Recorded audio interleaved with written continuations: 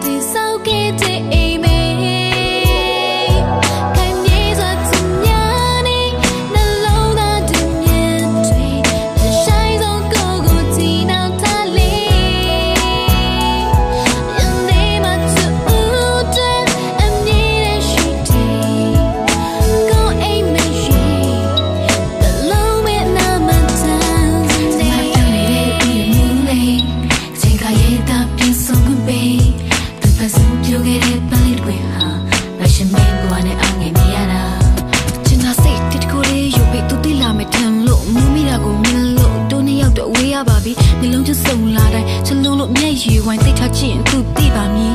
no တွေ့ရင်မြစ်တဲ့တွေ့လို့နှွေးချစ်တဲ့နဲ့လို့ဒီရင်ချမ်းစားတဲ့ဆုံးမဲ့မဲ့ဒီဆုံးမရှင်နေကပြောဖြစ်တဲ့စကားတွေကကိုရုပ်ကိုစားစားနဲ့ဝေးသွားစေမလားနေနဲ့မရှိတဲ့ငါမငါမရှိတဲ့မင်းမစသားလို့